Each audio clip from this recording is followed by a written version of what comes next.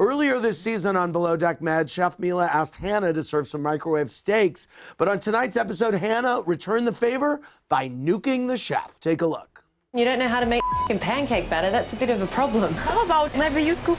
Maybe I say, oh, honey, you've already got my third stew. There is so much hatred in your face. You don't need to come at me about anything at the moment. Yes, I'm not happy with the food. I'm sitting here and go say everything in my face. I'm saying it to your face. Anastasia needs to cook because your food is Boom. There. You have passion in the galley. I can see it. I really want to show you the third chapter that I can do it. I don't have a backup, but if I don't have a chef, I don't have a charter. Right.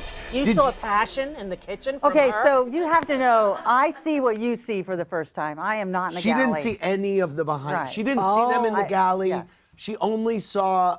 so you were still hopeful.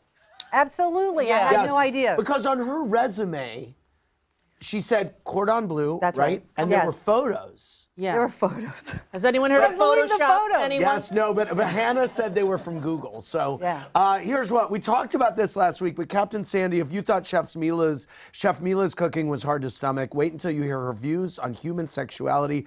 Sandy, watch this. I know you didn't see any of this. I just want to get your opinion on the other side. I think I know what it is. I don't want my son to be growing up and seeing two men kissing each other because this is not normal. Your opinion on gays shows your opinion on humanity, which is f***ing terrible. Mila said something about being gay is wrong. Are you kidding me? How can you think that? Especially in this modern age. Like, you, you think they're animals? I should take her to Fire Island. Her mind would be blown. I don't want to work with a homophobic who can't even cook. Someone spews hatred, I'm like, you.